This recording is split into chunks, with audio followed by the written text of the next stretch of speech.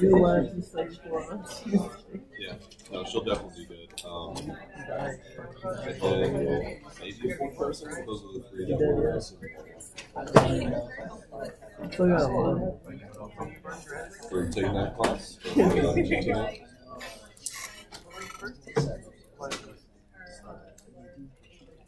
Yeah.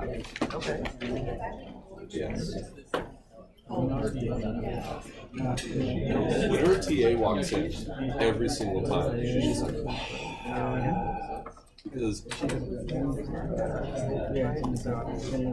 what's also not that is that she has like certain expectations that then she just changes on a dime throughout the class. Like she'll have her TA come in, grab something that's not part of the lecture at all, just to show her students something.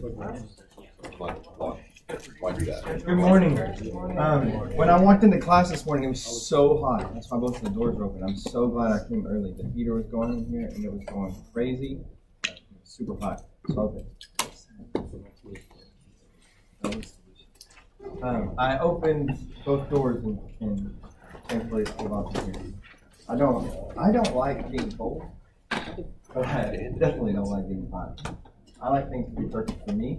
Uh, so if you're uncomfortable, I'm sorry, uh, but I'm slightly more important than you are. Okay. Like honesty. Who's got this there? We completed reaction one. We completed reaction one. The last things we talked about, and we'll go over those again because we kind of tried to hurry to cram this in uh, our lecture. Uh, the last things we talked about, uh, the main things we talked about is this is a regulatory step, right? And I told you that's important because um, um, there aren't many. Out of our 10 steps of glycolysis, only three steps function as regulation steps. We have three irreversible steps. Three steps, somewhere in this step, there's an irreversible reaction. Three steps um, in glycolysis are irreversible. Um, these three steps are regulation steps. Step one is one of those regulation steps. It's a minor regulation step. Um, it's not a major on-off switch, uh, but it is a regulation step. Specifically, product inhibition of hexokinase and the vast difference in Km between glucokinase and hexokinase function as a way to throttle uh, glycolysis, to slow down, speed up glycolysis, and also um, specifically the hexokinase, kind of turn off glycolysis in certain areas. Genesis, production of glucose out of the cell. If you want to read more about this, um, chapter it, it's talked about. So, so these regulation steps that we that we're going to talk about, and, and again, uh, so somebody was asking us today, what kind of details do you want um, about various regulation steps that we're going to be talking about? regulation, metabolism and regulation is an entire course. It's an entire one semester course. We're going to talk about metabolic pathways and the regulation of metabolic pathways. We could literally spend an entire semester uh, talking about regulation of metabolic pathways. There is a class here taught by Dr. Hero or Mandal. Uh, I think I don't know if it's know Mandal teaches it. I assume Heo teaches it. I know no, maybe Heo teaches it in the month. They may take it. No, you have to take it in the month. Uh, Has anybody got the PhD? Oh no, you haven't. um, yeah. So if, if this interests you, if regulation interests you, there's a class, an extra course you can take just on regulation. Uh, what kind of detail do, do I want you to know? Um, I want you to understand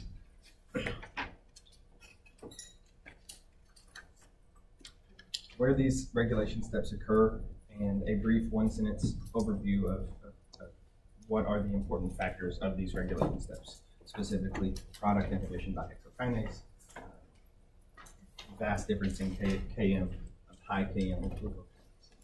Those are the types of things I want to do. Uh, if you want to know more, um, you can look at the regulation chapter. I don't think, uh, so the chapter on glycolysis in the biochem textbook goes into more detail about the regulation steps than, than, than the Lehninger textbook. The Lehninger textbook does not really talk about regulation steps at all, but the Lehninger textbook has a regulation chapter, um, a, a, a metab- a metabolism regulation chapter. So you can actually go to, to the next chapter and look at um, various uh, in the metabolism or regulation chapter, there'll be a section on glycolysis, so you can go to that chapter and look up and it talks about all of these things in even a little more detail, not a lot, a little more detail than is talked about in the biochem text. Um, textbooks just on metabolic regulation. If you if this is something that you are passionate about, you can look elsewhere. That's what I want to say. Where do these steps occur? In a brief one sentence explanation of, of how this occurs. Oh, the last thing we talked about um, this step is magnesium sensitive, right? This step is magnesium sensitive. Why is it magnesium sensitive? Uh, it's magnesium sensitive because our enzyme actually is specific for the magnesium complex of ATP, not specifically ATP, the magnesium complex of ATP. Um, what role does magnesium play? Magnesium shields um, ATP from um, this fast negative charge. The negative charge is actually shielding and buffering um, that partially positive phosphorus, right? So if we're drawing electron density um, back away from that phosphorus, we're making it a better electrophile um, for easier attack, right? Um, the magnesium plays another role. I ask you to, to, to know it. What, what, if we're talking about just hydrolysis of ATP, forget this, hydrolysis of ATP, um, does magnesium, the presence of magnesium, increase or decrease the hydrolysis of ATP, the rate of hydrolysis of ATP? Decrease, right? So that doesn't make a lot of sense here, right? Why does it decrease the, the rate of hydrolysis of ATP? What? What? So shielding oxygen, if, if, if we were, if we're, let's go back. Yeah, so that's a good question, isn't it? It's a good question because what I just said here is completely counterintuitive to what I said before, wasn't it? Uh, it, it what? Or actually, I didn't say it. I asked you to look. Um, and if you look at the hydrolysis of ATP, um, somewhere right here, we look at the hydrolysis of ATP. Um, Magnesium. What role does magnesium play? Magnesium stabilizes ATP, right? And it slows down the rate of hydrolysis of ATP. Un what? Un what? Uncatalyzed. This is not a catalyzed reaction, right? So this is a non-catalyzed reaction. It slows down the rate of ATP. Why? Because magnesium stabilizes this complex. That's what it has to go to. A complex that's not tetrahedral. So magnesium inhibits the formation of this transition state. Guess what an enzyme does? It favors the formation of a transition state, right? It favors the formation of a transition state. So yes, magnesium plays a positive role. It plays a negative role. That negative role is overcome by the enzyme. That's the point of the enzyme, right? That is the purpose of the enzyme. So yes, magnesium has some positive characteristics that favor hydrolysis. It has some major negative characteristics that don't favor hydrolysis. The enzyme's role is to overcome those major negative characteristics, right? Does that make sense? I, I, am surprised nobody said this last time. Um, because that, it's a big it's a big point, right? We already said magnesium lowers the rate of hydrolysis of ATP, but here we just said, oh, well, favorite. There's a reason.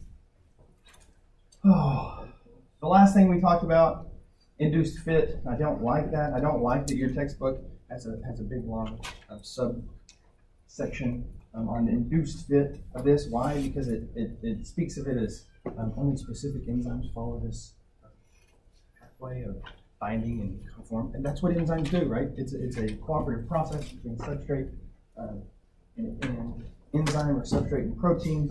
Uh, conformational changes do occur. Uh, to what degree depends on the enzyme or the protein you're talking about. And yes, there is a large conformational change, um, but the way they kind of talk about it seems like, oh, this is a this is rare. But that's what they do, right? And that's what they do. However, this has a large conformational change. The role of that conformational change we talked about at the very end. Do you remember what it was? Why? Why such a major conformational change when binding ATP? Oh, from what? From what? From water, right? We want to hydrolyze ATP, right? We want to. We want phosphoryl transfer. If, if ATP is hydrolyzed in water, does that lead to phosphoryl transfer? No, it leads to production of inorganic phosphate. And is that helpful? No, it's not. It's not. So this large conformational change facilitates hydrolysis of ATP by glucose, not by water, right? Takes it from water. This is happening in cytosol. There is water available, a lot of it, a lot of it. So it's protecting uh, ATP from water, facilitating or hydrolysis of that ATP directly by glucose, not by adjacent. Okay, we're caught up. Step two. So we have glucose six phosphate, right? Glucose to glucose six phosphate is step one. Step two, we are converting glucose to fructose. And, and bear with me, right now we're converting glucose to fructose. If your question is why, um, it's a valid question. Why would we want to convert glucose to fructose? We'll talk about it in a second. Um, glucose to fructose, converting glucose to fructose. Yes, it's glucose 6 phosphate to fructose 6 phosphate. Um, um, but the main idea is glucose to fructose, right? Uh, what is glucose? What is fructose? What's the difference? They're both hexoses, right? They're both six. Hexose tells me that's a six carbon sugar. They're both six carbon sugar. One's an aldehyde, one's a ketone. What's the difference? Terminal what? The terminal hydrogen or an R group. Terminal hydrogen. Terminal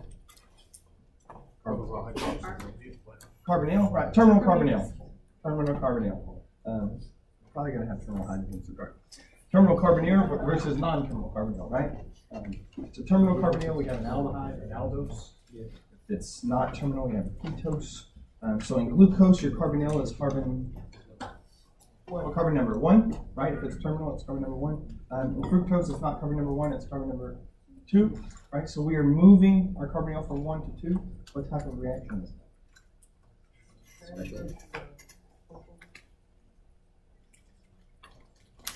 I knew it.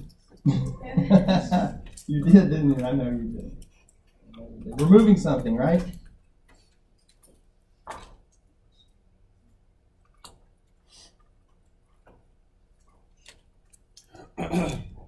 It is an isomerization reaction through tautomerization. I like one. I like saying tautomerization. Fun word to say. Two, I like seeing tautomerization mechanisms. I like it. Um, I like seeing double bonds move. I told this. I said this to the class yesterday. There are a lot of enzymatic reactions, um, um, organic reaction mechanisms that I don't like to look at. They're just un- aesthetically unpleasing. Um, and that sounds really weird, doesn't it? Like I have a preference for the way a reaction mechanism looks in front of my face. Um, I do, and uh, it doesn't get any better than this. I like seeing double bonds move around. I don't know why. It may be weird. If you think it's weird. Um, I don't care what you think. This is catalyzed by what type of enzyme? What class of enzyme would this be? Isomerase, right? And so a lot of the questions on your exam can be answered um, by by knowing those types of things. Um, by knowing those, I, I told you before that you, I don't want you to spend time memorizing or, or studying the classes of enzymes. It's really not necessary. Um, you should be able to identify those at this point anyway. Uh, here's kind of where that catches up. On your exam, you may be asked questions about specific steps I told you last week. Remember, um, it's a step about oxidation reduction, you better know which one of those enzymes. Uh, dehydrogenase is the only enzyme in glycolysis that is involved with a redox reaction. That's it. So if you answer a kinase, I'm going to get mad that's not what kinases do. You should know that. Ah, so this is catalyzed by phosphoglucose.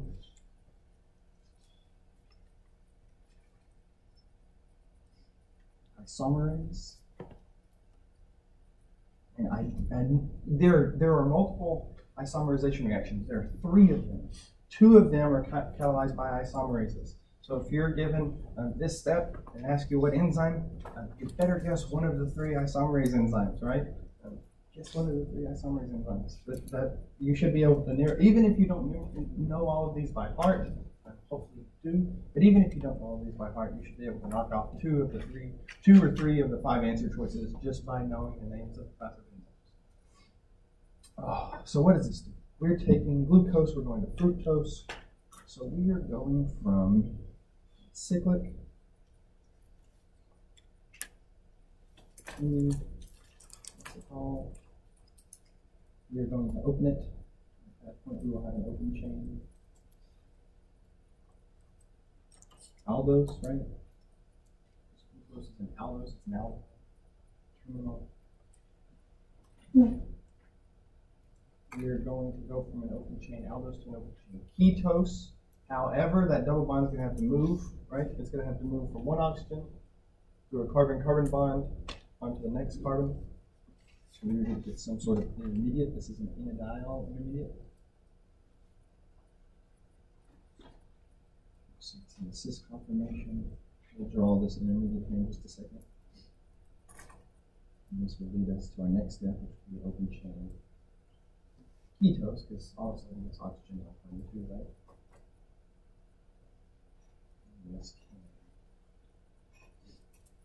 Close.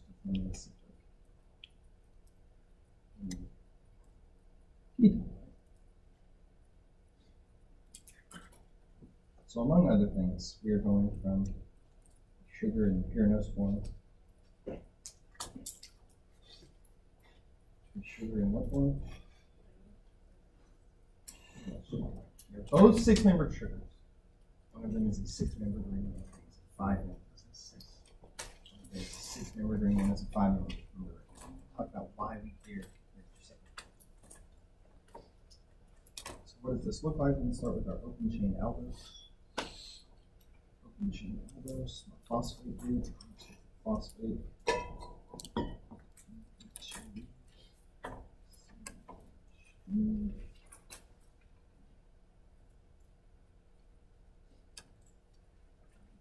Open chain, I just said it, and that's the pretty close.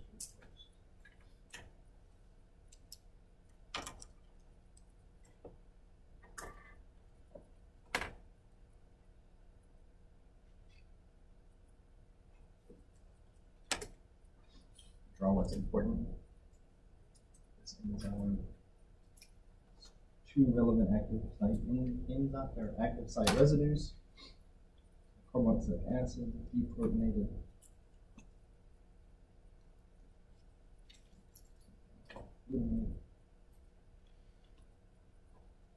Protonated basic amino acid.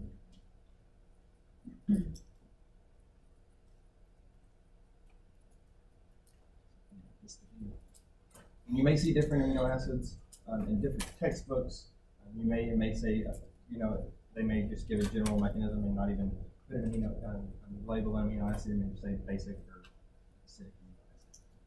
Why? Because these are going to change based on whatever species you're talking about, or whatever your, uh, what organism is.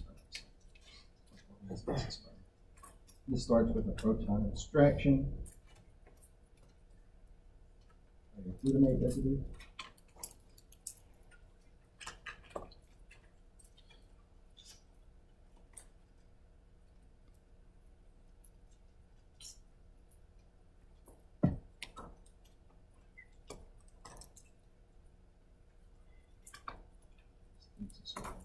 Cis enediol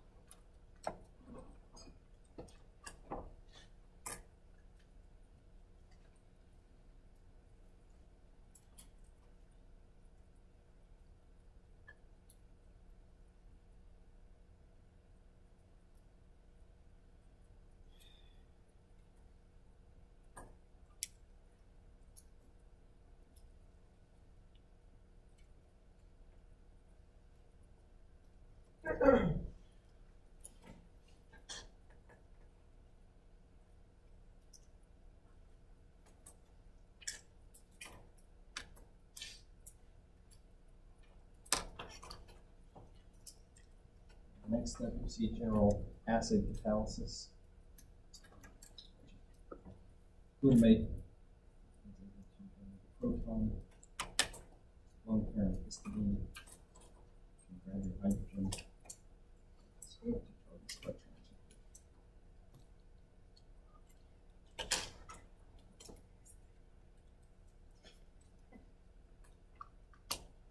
We're left with carbonyl position two.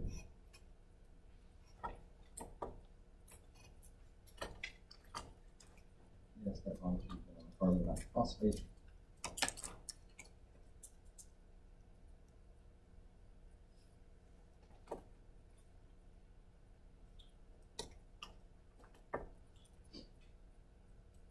and this structure can close.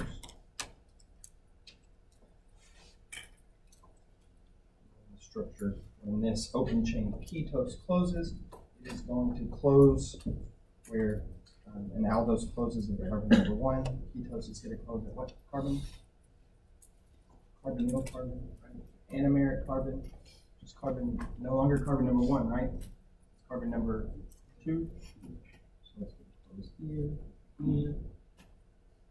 And You're going to be left with your product fructose six phosphate. Six phosphate. And why? Why fructose? We're still, we're not answering yet. We're in a second. Why fructose? Talk about our next step. Next step is phosphorylation. Again, another phosphorylation.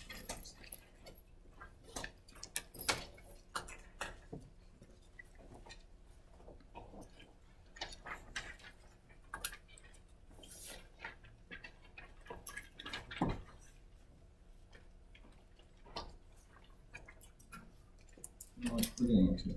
The suspense is killing me. Why fructose? Why don't we just phosphorylate glucose 6 phosphate? Let's go back again to our reaction mechanism of page, uh, 48, I think. Nope, yep, 48. Reaction mechanism Uh, uh, uh, phosphoryl transfer. What does phosphoryl transfer look like? Pretend it's not water, right? Pretend it's glucose, so that hydrogen here is not R, it's the remainder of glucose. What initiates this reaction? It's your first step. What's your first step of this reaction? A nucleophilic attack by what? An oxygen. What kind of oxygen? Not, it's not water. Remember, we're, we're pretending it's not water, it's glucose. It's glucose. So we gotta pretend, imagine a little bit. What kind of oxygen? No H. What kind of OH?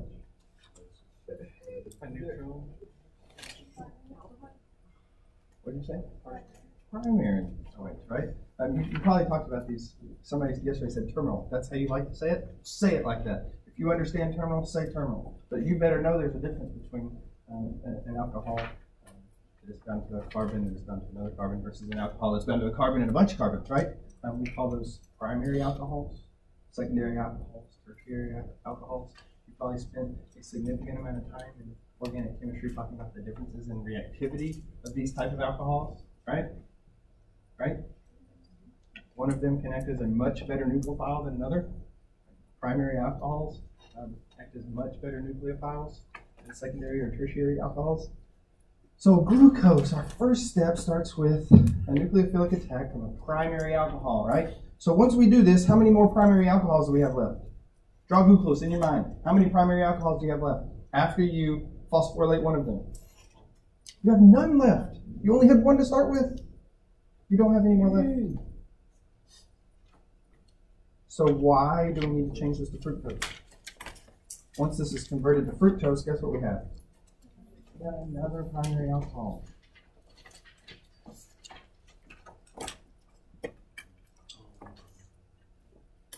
We have a new primary alcohol. That's what we can do with a new primary alcohol. Another phosphoryl transfer, right? We can initiate another phosphoryl transfer because we have another method of a nucleophilic attack. We're not going to draw this whole mechanism. I do want to explain if you have no idea what I've been talking about so far, you laugh. But maybe. I can draw it and see it. You have no idea what we've talked about so far. We have glucose 6, or I'm sorry, fructose 6 phosphate, right? Fructose 6 phosphate. This is our new primary alcohol, right? We generated a new primary alcohol. What else? Fructose 6 phosphate. Is this an H or an OH?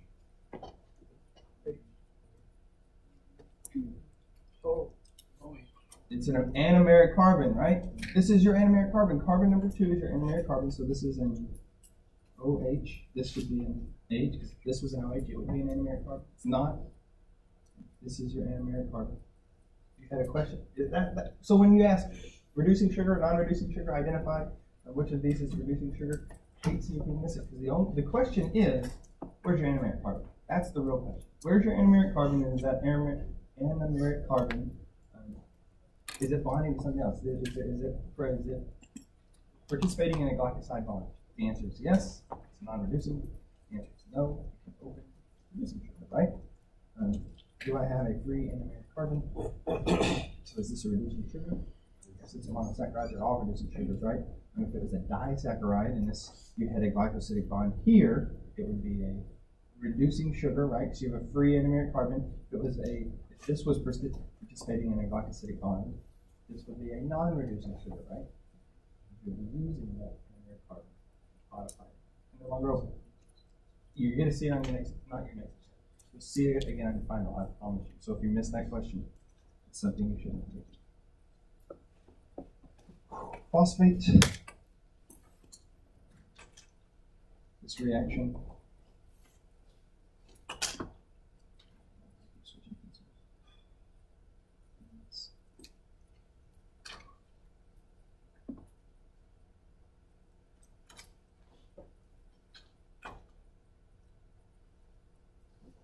Is an enzyme catalyzed reaction. It's an en- enzyme catalyzed reaction again is in the presence of magnesium. That is going to stabilize ATP, right? Um, So it's going to resist, stabilize ATP. It's going to help it resist um, nucleophilic attack from water, right? So that magnesium is going to stabilize this state. It's going to, it's going to not favor the transition state. That's what the enzyme's for, right? The enzymes help it overcome that barrier, um, structural barriers. That magnesium, so remember it, it prevents, or it doesn't, it inhibits, it, it inhibits uh, formation of the transition state, right? But it does do something favorable, it draws um, this electron density away, right? So here, this, this oxygen is kind of dumping some electron density off this electron deficient phosphorus. Magnesium will pull some of that away, making this a better nucleophile.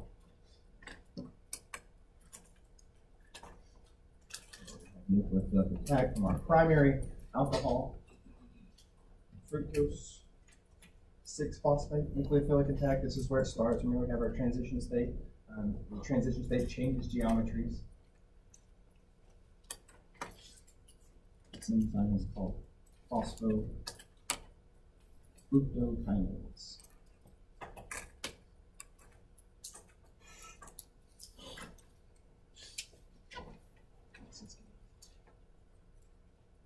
Phosphorylate our fructose, kick out ADP, kick out hydrogen.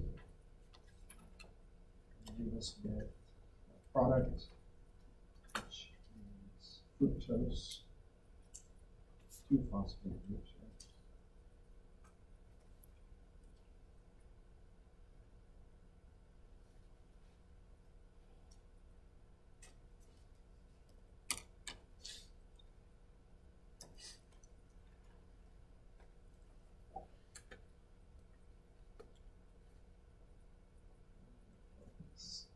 another one.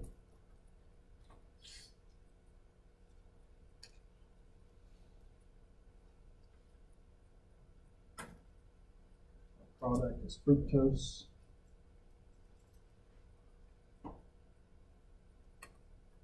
One, six, bisphosphate. Bisphosphate, I don't like that, I wish it was five, I wish it was, but it's not. Uh, if you, if, uh, three phosphates, you'll see some textbooks called three phosphates, trisphosphate, you'll see a lot of them that call them triphosphate. I like triphosphate, I don't like bisphosphate, but unfortunately, they didn't ask me. Bisphosphate, um, bisphosphate, that would mean two phosphates, right? Two phosphates. What's another term that means two phosphates? Two phosphate, diphosphate, I guess you could say diphosphate. Um, I want you to know this phosphate is not the same thing as pyrophosphate. in your readings, have you seen the phrase pyrophosphate? Pyrophosphate, you know what pyrophosphate is? No? When it's attached. So you, you, that's when you saw it. Um, you've seen it um, from hydrolysis of ATP. What? Yeah, it's actually um, so you, you see it in hydrolysis of ATP at the beta phosphate, not the gamma phosphate. So hydrolysis of ATP by water at the beta phosphate is not going to release inorganic phosphate. It's going to release inorganic pyrophosphate. So it'll be two phosphates together. Cleaves. It, will it'll release pyrophosphate, the two phosphates together, and um, AMP. This phosphate is not pyrophosphate. Why? Because these are not on the same, same location. They're not connected. One's connected to carbon six, one's connected. One.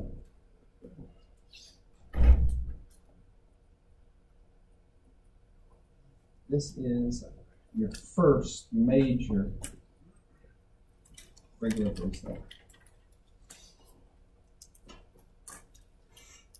Yes, step one is a regulatory step. It is, it is, compared to this step, it is a minor regulatory step. Uh, At this step, um, glycolysis, glycolysis can officially shut down. Glycolysis can be turned on, also for. It's kind of like, I, I would, if I was trying to put this in a, in a way that somebody that didn't know anything about it is an on-off switch. It is the master switch. If, if someone else turned the lights off, then this switch has the power to turn the lights back on. If somebody else turns the lights on, this, this, this switch has the power to shut everything down. Um, It communicates with other pathways. It's, it's a large player um, when we talk about the regulation of glycolysis, the entire pathway. Real quick. We're going to make this PFK1. Why? A Phosphofructokinase that catalyzes this reaction. We're fixing to talk about another. And that catalyzes something else. Uh,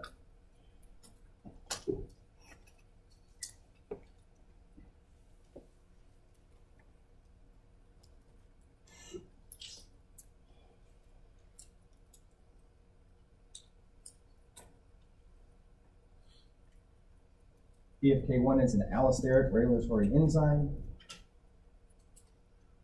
It shows unique traits, sigmoidal kinetics.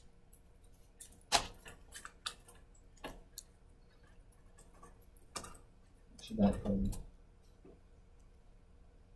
What is uh, sigmoidal sigmoidal steady state curve? What is that indicative of? That shapes the cooperative. That's cooperative binding, right? So it's cooperative. It should further that as the tetramer, right? Has the ability to bind cooperatively. It has allosteric activators. It has allosteric inhibitors.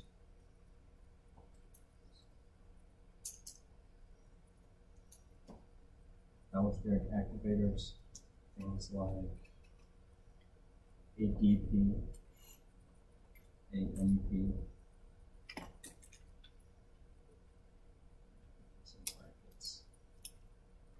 Phosphate, fructose, two, six, bisphosphate. Or it's the same thing. No, it's not the same thing, right? glucose two six bisphosphate. This is catalyzed by an enzyme phosphofructokinase type two. And I isozyme catalyzes production of fructose two six bisphosphate. Allosteric inhibitors, things like ATP. Does that make sense? AMP, ADP, ATP. Does that make sense? It should, right? If you have a ton of ATP, does this need to happen? You don't need more, right? You don't need more. If you don't have much ATP, this ATP has been um, consumed, that's this is a sign that hey, we don't have much ATP, right? See a lot of ADP, we see a lot of AMP. We don't have much ATP, more. Um, so these make sense, right? They should. They should make sense. A major one that we'll talk about uh, more in the next cycle citrate. Uh, citrate is a, an intermediate, a product intermediate in the um, aerobic pathway in the TCA cycle. Uh, and you can imagine if the TCA cycle is turning out a bunch of citrate, it's turning out a bunch of ATP. We don't need it, right? We don't need it. So this is actually a way it can communicate with another pathway. So if that other pathway is working, that other pathway is working hard, uh, there's a lot of uh, specific intermediate. Um, this is a way for glycolysis to say, oh, whoa, whoa, whoa, they're backed up. We've got enough energy. We can slow down. So, this is actually a communication pathway with glycol uh, between glycolysis and the citric acid cycle. This is unique.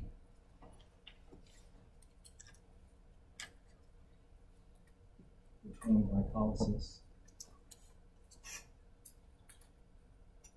and citric acid cycle.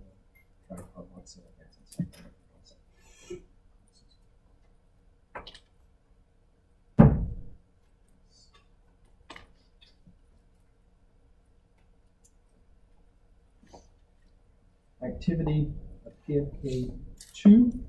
So that would mean formation of F26 PP is controlled by hormones, insulin, increases production of F26 bisphosphate. What kind of effect is that going to have on fructose or on phosphofructokinase one? On the Increased production, increased production. It's going to activate, right?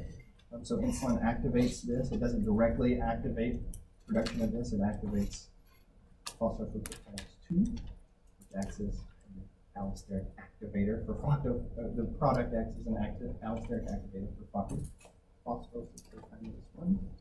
Uh, insulin a, I guess, once removed activator. Glucagon.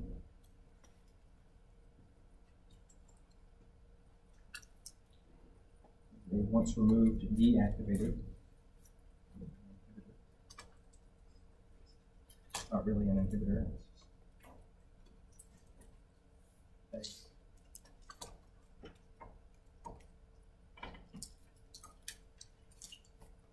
last two things to say about this.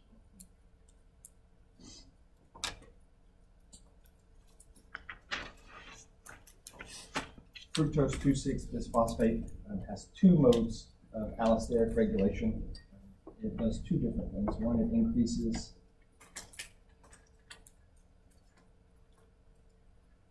binding affinity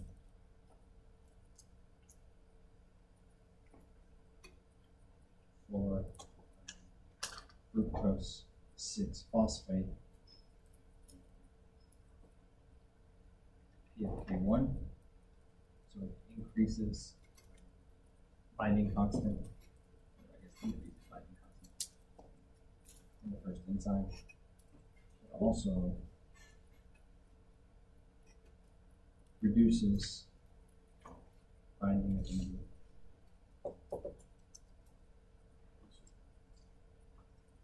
Thank you. It also reduces binding affinity for ATP and citrate.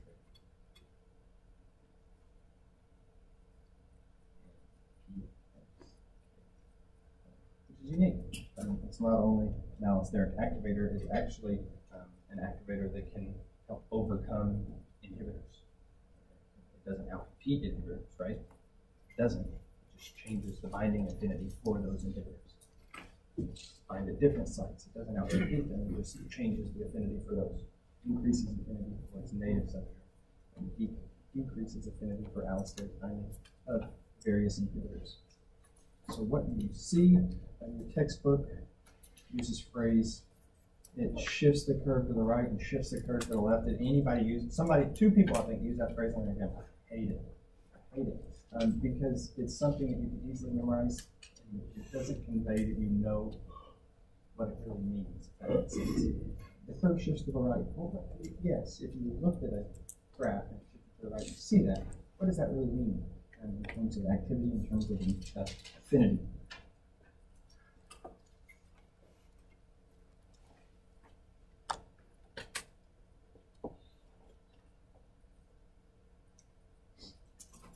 So at the presence, in the presence of no inhibitor, no allosteric activator or inhibitor, um, you see a sigmoidal binding curve, so so. So this is in the presence of no inhibitor, no activator, no allosteric binder, I guess we could say. That does kind of sound dumb, but we'll say it anyway.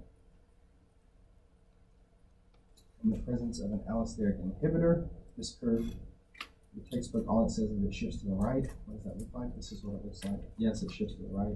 So in the presence of something like ATP, this curve shifts to the right. What does that mean? It lower, lowers activity, right? It's lowering activity as it shifts to the right at a specific concentration. You go from an activity here to an activity down here. Go from an activity up here to an activity down here. It's going to decrease activity, right? It's going to decrease activity. In the presence of an activator, it's going to increase activity at the same concentration. So in the presence of an activator, see something like this, like ADP, allosteric activator, same concentration. So if you pick one concentration and compare three activities, compare activities at this concentration. You can see in the presence of nothing, it has a reasonable activity. In the presence of an activator, it has an increased activity at the same concentration. In the presence of an inhibitor, it has significantly reduced activity.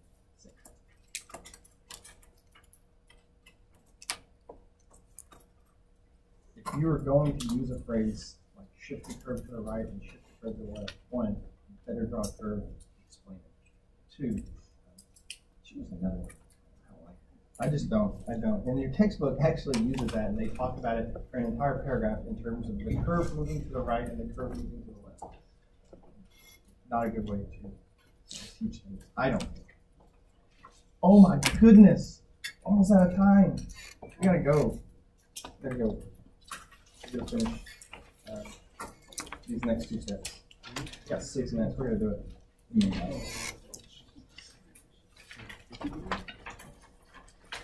Cleavage, uh, fructose.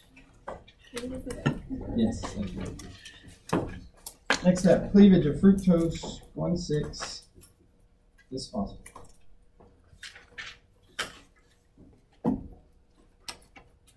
Oh, we didn't talk about this. We probably should have. Um, uh, we did spend a lot of time on reaction number three. Why? It is a major area of glycolysis. It is, a, it, it is, I told you, it is the major regulation step. Um, if you know anything about glycolysis, you should know a lot about step three, and you should know a lot of information about phosphoglucokinase.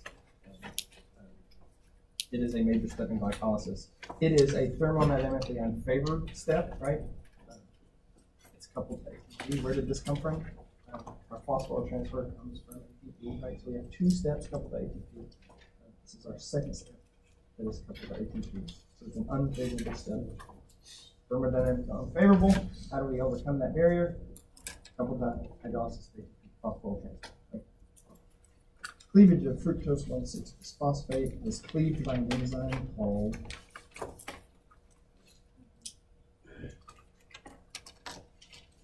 aldolase. Uh, you may see this written in your textbook as fructose bisphosphate aldolase. Uh, we'll just call it aldolase. So I'm going to call it aldolase. Cleaved by aldolase. We've talked about this reaction before. This reaction yields two products. This reaction yields two products. We're not. That's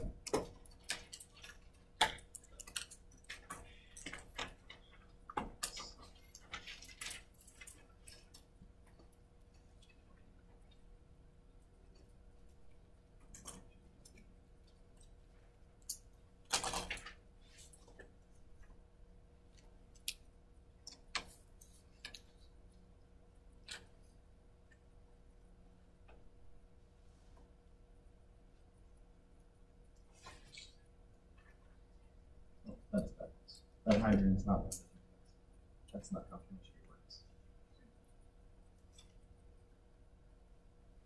Cleavage of fructose one six bisphosphate um, by aldolase leads to two products, a, a mixture of two products, DHAP. Glyceraldehyde uh, six, and a white out. Glyceraldehyde three phosphate. And this was in our notes. We talked about, conversion from, from DHAP to glyceraldehyde, which is actually the next step, conversion. Uh, glyceraldehyde three phosphate is what's used. Uh, DHAP is not used in hydrolysis. Hydrolysis. Glycolysis, those are two different things. G3P is what is used in subsequent steps of glycolysis. So reaction five converts DHAP. The remaining DHAP is formed from this reaction to G3P. Um, this has a equilibrium constant. Ten to the minus four molar. We're going to talk about if step ten has an equilibrium constant of ten to the fifth molar. Massive difference in equilibrium constant. This is a very small equilibrium constant. It has a delta G value of zero point zero point two three kilojoules per mole. This is again small, very near zero, which tells you something about this reaction. What does it tell you about this reaction? Small equilibrium constant, not really favorable, not really unfavorable. It's, it's pretty close to equilibrium. It's pretty, it's gonna be slow, right? It's gonna be slow, and it's gonna be at pretty close to equilibrium um, at any time. It's pretty close. What's up? Negative zero point two three kilojoules per mole, very small, very close to zero, very small equilibrium constant. It's, it's very there.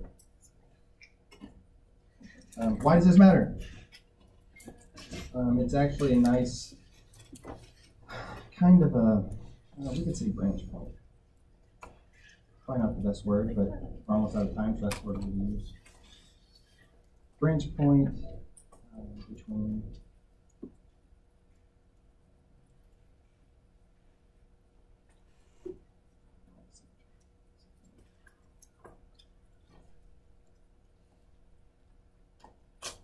uh, gluconeogenesis. We talked about gluconeogenesis basically being the opposite pathway of glycolysis, the formation of glucose uh, versus glycolysis. The breakdown of glucose. Uh, this is there. And there are two types of enzymes involved, involved in this reaction, class one and class two. Class one enzymes are found in higher orders of life, plants and big animal, most animals. Class one, uh, both of these go through an intermediate. Class one goes through a Schiff base.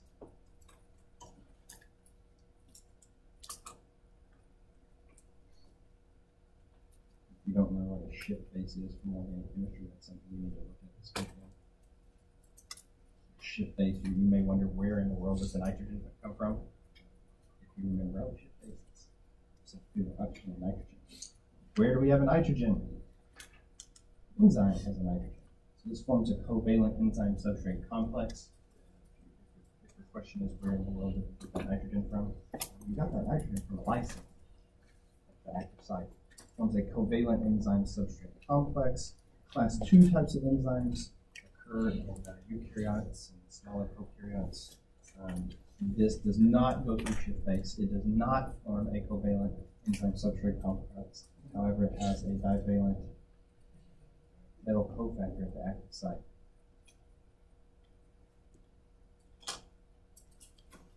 So real quickly, what does this mean? Um, I'm not gonna, we're not gonna draw mechanisms of these because both of these should be in your textbook. Mechanisms for both of these should be in your textbook. You should be able to identify which class of enzyme it is from a mechanism, which class it is. Uh, if, if you see a picture of the intermediate or what's, how it's stabilized, it should be very obvious, right? One of them contains metal, one of them does not contain metal. Uh, so what does this look like? Uh, one, si- one situation, uh, intermediate form already talked about this, right? What are the roles of metal cations? Major roles of metal, metal cofactors. Um, metal ca- cation cofactors in enzymes is to stabilize bivalent or, or, or stabilize epoxy anions. And in class 1 enzymes, so I guess that's class 2 enzymes. In class 1 enzymes, it's not lysine, it's lysine.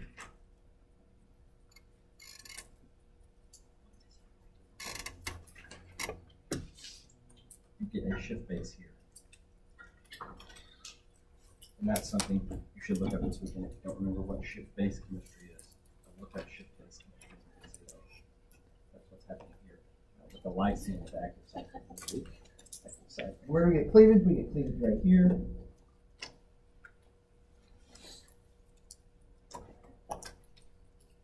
If you- can't find a mechanism for this, which you should be able to find, it's in your textbook. If you want, if you don't, if you're like, oh, I want to practice, I want to practice mechanisms, I don't want to look at this, uh, but I need help, I need some, I need help for a starting place, that would be a good idea.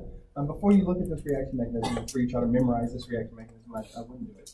Um, See if you could draw a reaction mechanism this. If you know, learn, look what a Schiff base is, see if you can draw a reaction mechanism. If you still need help with the reaction mechanism, you can think of aldolase cleavage is basically the reverse of an aldol, um, um, of an aldose con- condensation reaction from organic chemistry. Exact reverse of that. We will finish this chapter on Monday. I promise you, we will finish for sure. Um, from here on out, uh, you're going to see section five, um, reaction five. We're going to say refer to reaction two. Another tautomerization reaction.